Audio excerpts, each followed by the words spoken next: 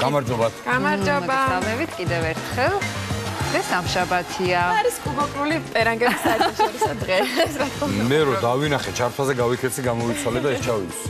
ხო, ისე სხვა შორს აი დიდი ხანი ხო იცი რო ამბობე რომ რაღაცა წლების მერე ცოლქმარი ერთმანეთს ემსგავსება, ბევრი წლის მერე ესე ვარ ჩვენ. მე და შენ ასე ტყობები უნდა ვიყოთ უკვე ციტელია გასული და. ვართ კიდევაც. ჩვენ ხომ ერთი გუნდი ვარ და იმიტომ გვაქვს ეს ეს. მე მოვიმარჯვა ჩვენი შუადღის კომპიუტერი, იმიტომ რომ ველოდებით თქვენს აქტიურობას ჩვენს Facebook-ზე, ვინაიდან დღეს არის სამშაბათი, გვაქვს სამედიცინო თემები და როგორც ყოველთვის ვიცით რომ გაინტერესებთ, გაქვთ სურვილი მოგწეროთ კონკრეტული შემთხვევები, მით უმეტეს რომ ჩვენ ჩვენს ჩვენს თავზე ვიღებთ ყოველთვის დაგახვედრო ძალიან გამოცდილი ექიმი.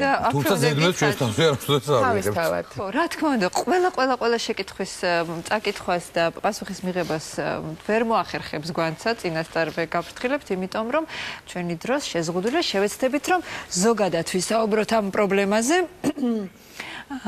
და ვისაუბროთ რა თქმა უნდა პროფესიონალ ექიმთან, ექიმ დერმატოლოგ ვენეროლოგთან, სასტრაფოდ ვიპოვო. ქალბატონი ხათუნა ბერიძია ჩვენთან სტუმრად, რომელსაც ვთხოვთ სტუდიაში. მოგზანდით. სალამი. გამარჯობა. გამარჯობა ქალბატონი ხათუნა. მამი. იმედი არ შემეშალა, ხო, თქვენი გვარი? ბერიანი. ბერიანი, ბოდიშ გიხდით. ქავდანა ხათუნა. აი, ასეთი სტატისტიკა ესე იგი, რაღაცა ზოგადად სანამ ჩახედავ ამ პრობლემას ეს სამედიცინო და ღრმა, თითქოს ეს არის გარდატეხის ასაკის პრობლემა, ხო? და რაღაც ასაკის მე უნდა გაქრეს, მაგრამ ხშირად ვსვენია, რა არის კაცო ამ ასაკში, რა დროს ჩემი გამოდა ასაკში არ ქონია და არ ქონია ასაკი მაგაბავს თუ როგორ თურმე არ ქონია, არ ქონია და რა მექანიზმი აქვს ამ აკნე აკნეს რომ ესე გვატყუებს. აი, გეტყვით ახლავე. Ну, რა თქმა უნდა, გარდატეხის ასაკი არის ყველაზე კრიტიკული ასაკი ამ დროს, იმიტომ რომ ეს დაკავშირებულია სქესობრივ მომწიფებასთან. გოგოებში უფრო ადრე იწყება 10 წლიდან, ბიჭებში 14 წლიდან ესე და თავს იჩენს ეს პრობლემა, ეს თვითონ აკნე არის ცხიმოვანი ჯირკვლების და თმის ფოლიკულების დაავადება. ესაა ქრონიკულ რეციდიული დაავადება. და რაც შეეხება ასაკს და რატომ არა აქვს მნიშვნელობა. რასაკვირველია, ასაკთან ერთად ისეთი სიმწავე არ იქნება. ამ დაავადების, მაგრამ ეს დამოკიდებული არის მთლიანად აკნეს პრობლემა 99% დამოკიდებული არის ჰორმონალურ ბალანსზე, ორგანიზმის ჰორმონალურ მდგომარეობაზე, რომელიც გენეტიკურად არის განპირობებული. აი ქალებში მაგალითად ქალებში არის მამაკაცის ჰორმონიც, ხო? კი, ვიცი, და ზუსტად აი, როდესაც არის შეიძლება ტესტოსტერონი ეს მამაკაცის ჰორმონია, შეიძლება ტესტოსტერონი გასინჯვის შემთხვევაში ნორმალური იყოს, ნორმის ფარგლებში იყოს, მაგრამ იყოს გამოხატული აკნე და ისეთი დამახასიათებელი სიმპტომები, როგორიც არის თქვათ მამაკაცის ნაირი თმის წვენა, თმიანობა, აი მამაკაცის ქალებზე ვამბობ, მამაკაცის ნაირი თმიანობა. ეს დამოკიდებული კი, კი, კი, შესაძლებელია და თან გამონაყარე. წვენა ხა ქალების თმის თუ არ ემჩნევა უბრალოდ. არ არის იშვიათი. არა, ანუ მე ვიზახე ეს მდგომარეობაში იშვიათად რომ ხარ ნახო. არ მიყავს მაგ მდგომარეობამდე დიმიტრი. ნუ ასე არ მინდოდა მიმეყვანა, მივიდა ეხლა როგორ ხდება ეს? ეს გენეტიკურადაა განპირობებული ნამდვილად. მე 10 წლით გვიან გამშვიდა, ვედრე ჩემს მამას თქვა ასაკის მიხედვით ვიზახე. ანუ მე კიდე გავკაჩე კარგად. და ეს ყველაფერი დამოკიდებულია მამაკაცის ჰორმონზე, უფრო სწორედ ჰორმონის აი პროდუქტზე, დეჰიდრო ესეთი ცოტა ესეთი გამოსათქმელია დეჰიდროეპი ანდროტესტოსტერონს. ხო, მაინც ვერ გამოვთქვათ მაგას, ვერ გამოვთქვათ. კარგი.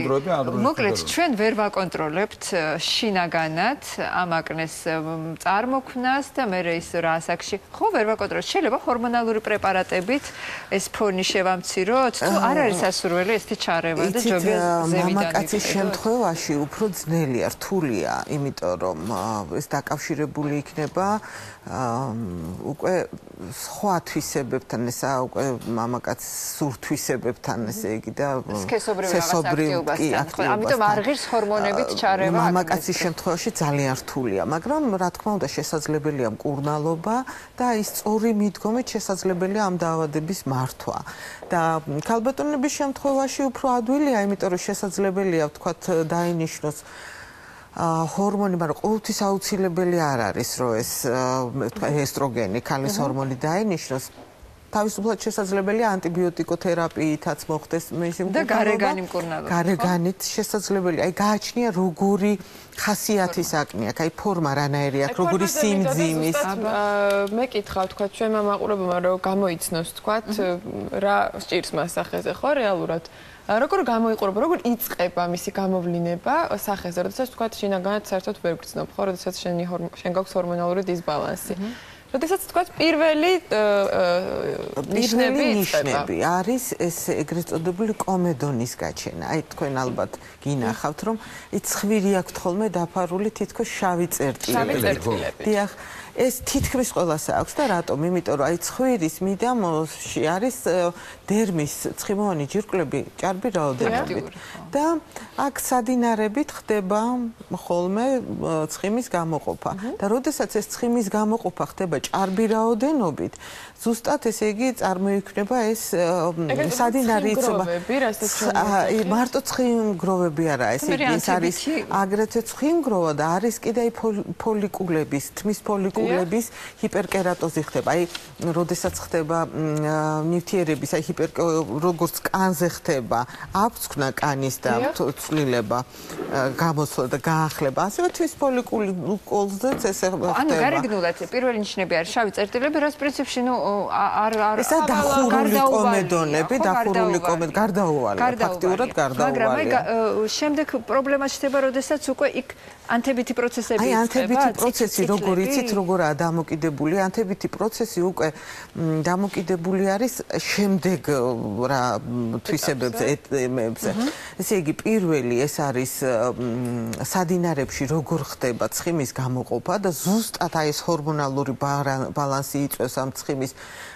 ან ესე იგი ჭარბი რაოდენობით გამოყოფას ან კიდევ თქვა ან ნორმალური ან კიდევ პირიქით ესე იგი ნაკლებად გამოყოფა. აი როგორ გამოიცნოსო არ არა არა ექიმა ადამიანმა ხო თქვა შავი წერტილები არ არის პრობლემა. გაჩნდა მე წიწლები თქვა წიწლები რო გაჩნდება. აი ქავილის გააჩნია რომელი მიკრობითაა დაინფიცირებული. აუცილებლად იმისთვის რომ ეს ანთება განვითარდეს აუცილებელი არის რომ დაინფიცირდეს და აკნეს შემთხვევაში არის ბაქტერია, რომელიც აინფიცირებს ამ სადინარებს და აა ზუსტად იწევს ეს ანთებას. და ამის კურნალობა ისევ ანტიბიოტიკოთერაპიით არის ესე იგი გაწმენდითი საშუალებები და შემდეგ აი ფორების ფორები იხსნება, იწმინდება ეს სადინარები, მე იყურება ეს ფორები, ეს პროცედურები ამ თელი ჩასატარებელი. და მე ვთქვათ ადგილობრივი და პერალური მიღებრი შესაძლებელია თუ არა აკნე იყოს განმეორებითი ისეთი ვთქვათ, თუ მე ჩავიტარე კურნალობის სრული კურსი, დავიცავი ყველა წესი, რაც დამავალა ექიმამ, დავლიე წამლები, გავიწმინდე ფორებში, მოვსპე ყველაფერი. შესაძლებელია რომ მე კიდევ გავხდე ამის ამ საშინელების ხორცს აუცილებლად. შესაძლებელია სამწუხაროდ იმიტომ რომ უიმედო მდგომა არა არა თუ სწორად იქნება მიდგომა მაშინ შესაძლებელია რომ შენარჩუნებული იყოს კანი აი იდეალურ მდგომარეობაში მაგრამ როდესაც მიდგომა არ არის სწორი მაშინ ეს პრობლემა იქნება მუდმივად. და აი სწორი მიდგომა ახლა იმაში გამოიხატება რომ აი მორჩენა აკნესი არაფერი არ არის. ადვილად შეიძლება ვთქვათ ამის ალაგება მაგრამ შემდეგ არის შემანარჩუნებელი თერაპია. აი ძალიან ბევრი პრეპარატები არის რომელიც ხელს უწყობს რომ იგივე ეს ბაქტერიები არ გამრავლდეს მის აღებს თუ აი გარედან მოვა ადგილობრივს ადგილობრივს იმიტომ რომ მუდმივად ესე იგი წამლების დალევა ახლა იცით რა მეტყვის აი თუ არ მიხედევ თქვა აი ნუ აი გამივლის თვითონ. აი რა სადამდე შეიძლება არა გამიაროს არა რა შედეგამდე შეიძლება რომ იგი იცით აი ძალიან დიდი ხნის განმავლობაში მამაკაცებში განსაკუთრებით. ესე იგი აი ძალიან ნუ ისეთ ასაკში უნდა მივიდეს მამაკაცი როდესაც მისი თქვა ჰორმონები დაიწევს ბუნებრივად თქვა 50 წლის ასაკში ახლა იშვიათად არის რომ მამაკაც ეს აკნე კონდეს მაგრამ აუცილებლად ნაყვავილარი აქვთ ხოლმე აი ეს გადატანელი დიახ და ნაცი აი ნაყვავილარს რო ეძახიან ნაწიბურები და რა თქმა უნდა იმიტომ რომ გააჩნია როგორი სიმძიმის დაავადება ქონდა. ხა ხათ აი საკვების მიღებას თქვა ამ კურნალობის ანაკნეს დროს. აქ ნიშნობა რაღაცა საკვებმა შეიძლება ფონი გაამძაფროს ან ხელი შეუწყოს. არ მოქმედებს? მოქმედებს მოქმედებს მოქმედებს. არა იქნება ეხლა არა ცხარა სხვათა შორის იმდენად არა რამდენი დიახ ხიმიანია ცხიმიანი საკვები ეს არის ნუ რა ვიცი ძალიან კატასტროფა ხო და კანისტვის არის მით უმეტეს ცხიმიანი კანისტვის არის საკვები ზოგადად კანისტვის მავნებელია. მავნებელია თუ ცხიმიანია? ცხიმიანი კანი გვიანვერდებაო არ არის ეს მას ცხიმიანი კანი არა ცხიმიანი კანი არის ძალიან პრობლემატური. იმიტომ რომ აი აკნეების საშიშროება არის უფრო მეტი ძალიან ბევრი ასეთი მაყურებელი გწევს ვისაც აქვს ცხიმიანი კანი და მოდით ამოგიკითხავთ შეკითხვებს ვარ 25 წლის. მაქს მაქს სახეზე გამონაყარი და ძალიან რბილი ნაზი ცხიმიანი კანი. რა უნდა მოვიმოქმედო? იქჩიეთ აა ნუ გირჩევთ ახლა წამლების დასახელებას ვერ დავიწყებ, იმიტომ რომ ვერ გავაკეთებ რეკლამას. უნდა სპეციალური საპონი, სპეციალური ადგილობრივი საშუალებები, უნდა იქნას შესწავლილი მისი კანი. სპეციალურ საპონში გულისხმობთ, ანუ ამ ცხიმიანი კანის სპეციალური საპონი, დიახ, რომელიც არეგულირებს, რა თქმა უნდა, არის და არეგულირებს ცხიმის წარმოქმნას. არის ამდე შემოსულია ბევრი საშუალება. დერმატოლოგის კონსულტაციას ურჩევთ და ძალიან მენიშნა, როდესაც თქვით, რომ გააჩნია რომელი ბაქტერია დაინფიცირებსო.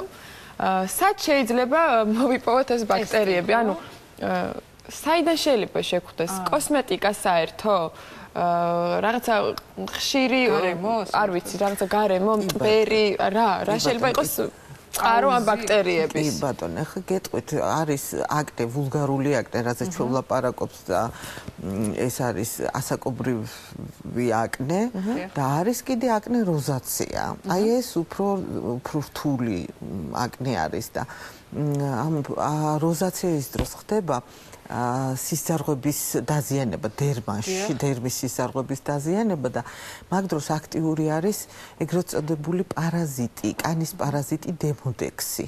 რთული გამოსაყვანი არა ანაფხიკით ხდება ხოლმე და ნათესის გაკეთებით თქვა ამ არა გამოსაყვანი. იცით რა არის? ეს არის არ არის პათოლოგიური პარაზიტი შეიძლება ნებისმიერ ადამიანს ქონდეს შეიძლება მეს ქონდეს რომელსაც თქვა კანის პრობლემა არ მაქვს გააჩნია როგორ მრავლდება. ესე იგი როგორი ნიადაგი აქვს მას სახეზე კი როგორი პირობები აქვს.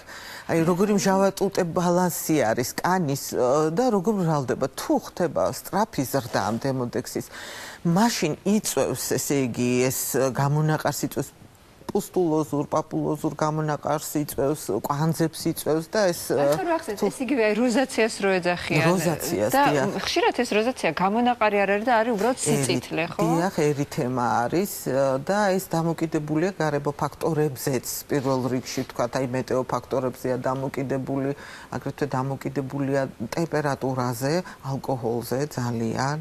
და აი ცხელ საკვებზე ვთქვა ცხელ გარემოში ყოფნაზე არის იმიტომ რომ მაგ ხშირად შეიძლება ეს განეს პრობლემები როცა წყალს იცვლი ანუ აი სხვა გარო მიდიხარ და სხვა წყლით რო იბან და ასე შემდეგ. ხო ესეც არის ხო? კი არის რასაკვირველი არის იმიტომ რომ ალბათ შემადგენლობა ახლა იმ წყლის ვთქვა მარილების შემადგენლობა წყლის არის სხვანაირი ვთქვა იგივე ზოგადად აი როცა ეს პრობლემა ჩდება და სქელი კოსმეტიკური ფენებით იფარავენ ხოლმე აი ეს შეიძლება? აი მიდე და მეკითხა საერთოდ ვთქვა არის პრობლემა მათ ამას წერტო შენ რო გიყვარს კოსმეტიკა. არა, მე მაინტერესებს რაღაცეები და იმიტომ. ხო, შეიძლება თუ არა თქვა აი ასეთი პრობლემების დროს თუ იძულებული ხარ, ან თუნდაც იმისათვის რომ ცოტა დაფარო ეს პრობლემა კოსმეტიკის ხარ, ან სპეციალური კოსმეტიკა ხო უნდა ვიხმაროთ, ან აი რა როგორ სპეციალური კოსმეტიკა ამ დროს. სპეციალური კოსმეტიკა რა რა არნაირი კოსმეტიკა? აი თქვა დეკორატიულ კოსმეტიკას გულისხმობთ. სულ მუდმივად, როდესაც არის ესეთი პრობლემა, სასურველი არის რომ მოხდეს ჯერ განკურნება, მკურნალობა და მე შერჩევა კოსმეტიკის, თქვათ, იმ კანისთვის თუ არის მშრალი კანი, თქვათ, გარკვეული ის კოსმეტიკა უნდა, თუ არის ცხიმიანი გარკვეული, აი შერჩევა უნდა, სწორად შერჩევა. აი, თქვათ, ეს ისეთი ბუნებრივია, როდესაც გაქვს ან როზაცია, ან აკნე, პირველი რასაც მიმართავს ადამიანი ამ დროს ტონალურ საშუალებას, ან პუდრს დაფაროს. აშავებს ამით შესაძლებელი. ძალიან ძალიან აშავებს არ შეიძლება, არ შეიძლება, არ შეიძლება. ანუ კიდე უფრო ხურავს რომ დიახ ფორები იხურება საშუალებას არ ვაძლევთ რომ მოხდეს ნორმალურად ცვლა იგივე მცხიმოვანი სეკრეტის იგივე გამონაყოფის ამ ედლების არ შეიძლება და პირიქით შეკითხვა მინდა დავსვა აი ხა ძალიან ახალგაზრდა პატარა გოგოები 15 16 17 წლის გოგოები იციან ხოლმე პირდაპირ ტონალურით ფანტასტიკური კანი ხო თავს ყოფილ ტონალურში მე კი გადასდით რაღაცა ასაკში მაგრამ აი როდესაც ყველაზე საცუთი და მშვენიერია კანი მაშინ შეიძლება ჯამრთელი კანი ხშირმა ტონალურის ხმარება ამ გარდატეხის ასაკში გამოიწვიოს აკნე. დიახ შესაძლებელია ამას ქვია კონტაქტური აკნე და თა შესაძლებელია აი ამ ტონალურებით და სხვა კოსმეტიკური საშუალებებით არასწორად მოხმარებული ზედმეტად მოხმარებული აი ტელეწამყვანები გოგოები განსაკუთრებით რომლებიც ყოველ დღე ხანდახან ორჯერ სამჯერ იკეთებენ დღეში გრიმს. 8 საათი გრიმი. ეს ამათთვის ხო პრობლემაა სერიოზული თუ არა?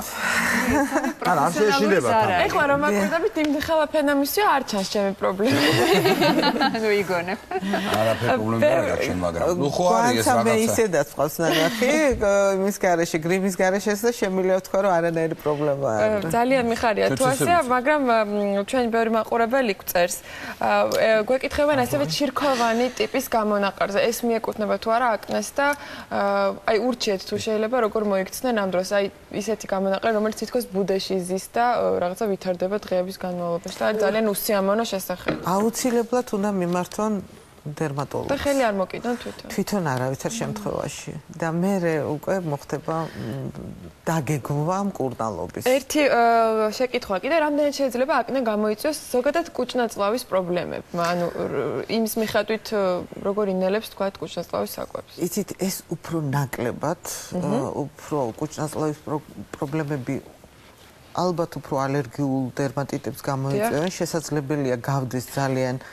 აკნეს გამონაყარს, მაგრამ აკნე, ვულგარული აკნე არის სულ სხვა და კუჭნაწლავის მხრიდან გამოწვეული, თქვათ, ანთებითი დერმატიტი ეს არის უკვე უფრო ალერგიული ხასიათის გამონაყარი.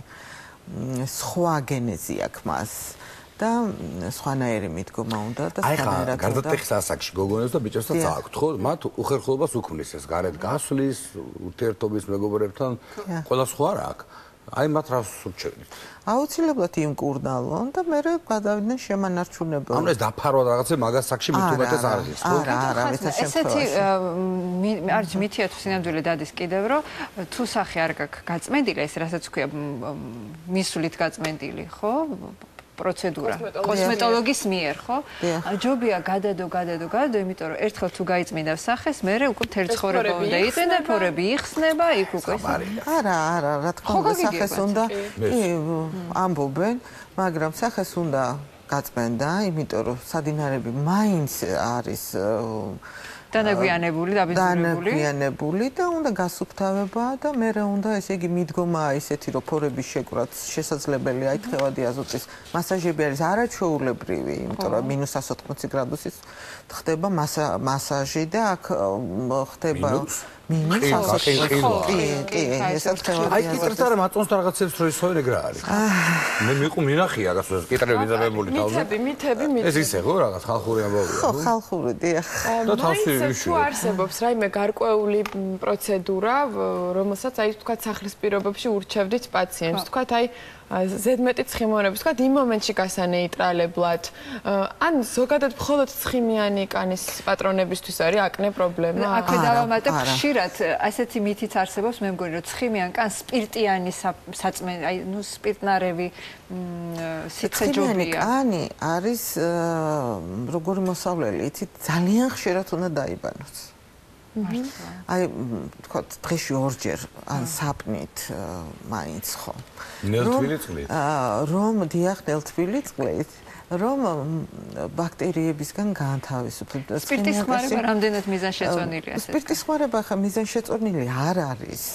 იმიტომ რომ მაინც სპირტმა შეიძლება დამწრობა გამოიწვიოს, გამოიწვიოს მეტად უფრო სიმშრალე, მე აკერცვა და აქ უნდა ისეთი ცხიმიანი კანისტის სპეციალური საპონები იყიდება, რომლითაც შესაძლებელია მოვლა. მაგრამ პირველ რიგში უნდა დავადგინოთ ცხიმიანი კანი გაქვთ თუ არა, იმიტომ რომ მე მაგალითად დღეში ორჯერ საპნით რო დავებანო სახე, ვეღარ ვიმუშავებ ტელევიზიაში.